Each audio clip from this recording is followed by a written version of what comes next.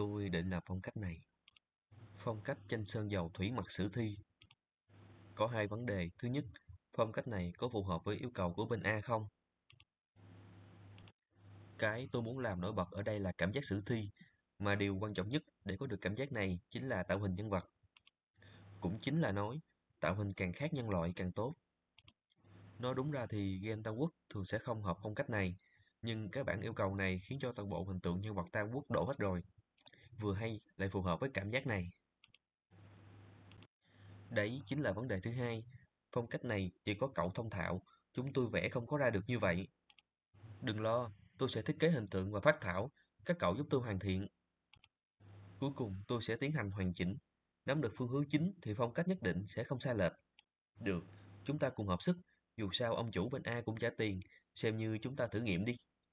Nếu phong cách này không được tiếp nhận, có lẽ sẽ khiến bên A lỗ vốn.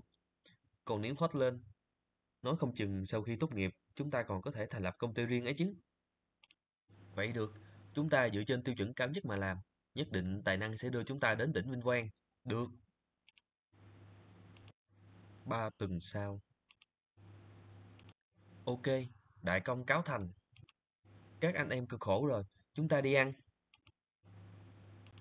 Đêm tí đi. Chật, thôi vậy, chưa mai mời đám nhóc này một bữa. Tổng cộng 50 bản, 200 tấm tài nguyên, mời cậu xem. Ký túc xá Đại học Hán Đông.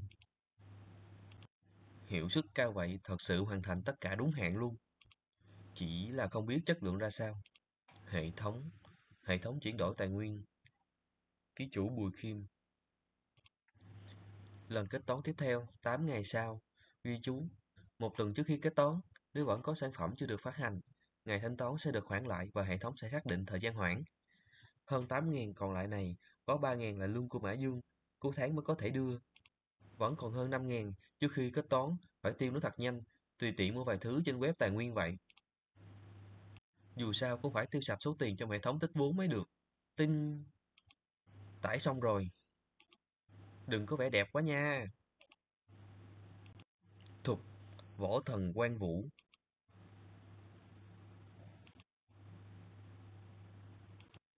Này. U. 700 tệ bẻ được một tấm thế này á. Đùa tôi phải không? Tranh nào cũng ở cái tầm này. Nguyễn Văn Kiến phải thật đấy hả? Sai quá sai. Cậu có tác phẩm cực phẩm vậy, tại sao mấy cái tác phẩm đại diện toàn là bản quy chứ? Hội nghị khẩn cấp trong đầu Bùi Khiêm. Tôi tuyên bố hội nghị khẩn cấp lần thứ hai bắt đầu. Khốn nạn, lần này không thể nuốt lời rồi. Hai ngày tới phát hành rồi, sợ rằng hệ thống sẽ kéo dài ngày kết toán. Có biện pháp nào không?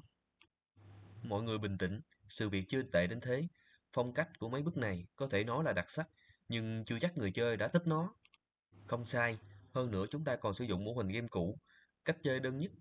Những thứ khác đều không chi tiền, không hề xuất sắc. Đúng vậy, người chơi căn bản không biết tới game này, thì sao mà mà xem được đồ họa game chứ? Khi gửi game trên nền tảng xét duyệt, hãy khiến phần giới thiệu game đơn giản và ngắn gọn. Tốt nhất là cảm thấy vô cùng kỳ lạ khi đọc nó. Cố gắng không được đưa bất kỳ cụm từ tìm kiếm hot nào, cũng không được có tên Tam Quốc. Lần này nhất định làm được.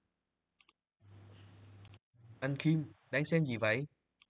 Cái này, đây có phải là trên góc nhân vật game của chúng ta không vậy? Đỉnh của chớp luôn. À, chủ yếu vẫn là nhờ có yêu cầu đầu hà của cậu đem đến linh cảm cho họa sĩ. Vậy sao? Thế thì hay quá. Hóa ra em cũng có thiên phú ở mảng này phết nhỉ?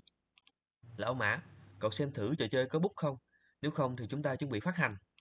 Ừ, được. Ai da, anh Kim. Chúng ta vẫn còn một thứ chưa làm.